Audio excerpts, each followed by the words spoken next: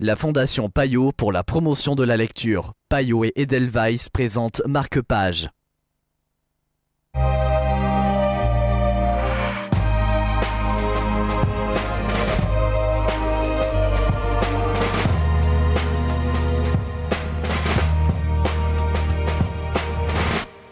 Bienvenue dans Marque-Page, la maison aux toits rouges de Kyoko Nakajima. C'est le livre dont nous allons vous parler aujourd'hui en compagnie de Michel Wintereg Nakao. Bonjour Michel. Bonjour Zelda.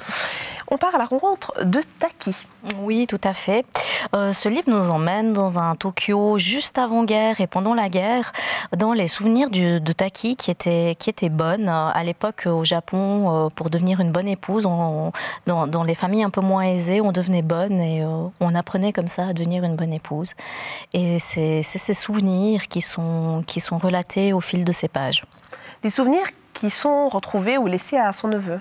Oui, en fait, euh, dans ses vieux jours, euh, comme, euh, comme elle connaissait l'art de tenir une maison, une éditrice lui avait demandé d'écrire un, livre à propos de, ses trucs et astuces de bonne. Et il avait eu tellement de succès qu'elle lui a demandé un, deuxième livre et Taki décide de partir dans, ses souvenirs. Très vite, ça n'intéresse plus l'éditrice. Par contre, elle laisse ce carnet intime à son neveu qui va devoir quand même partir enquêter sur un passé mystérieux qu'il n'aurait pas imaginé euh, de sa tante. Un passé mystérieux qui s'accompagne d'une écriture assez pudique et pleine d'émotions.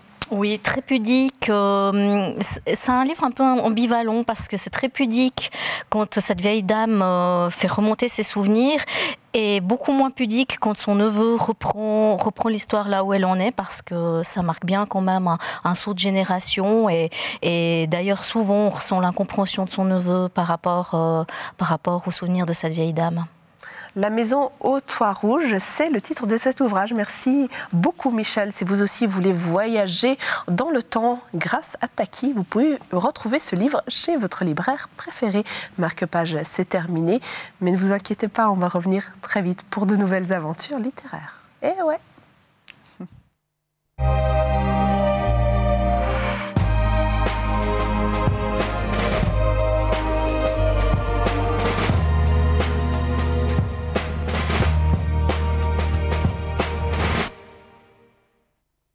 La Fondation Payot pour la promotion de la lecture. Payot et Edelweiss présentent Marque-Page.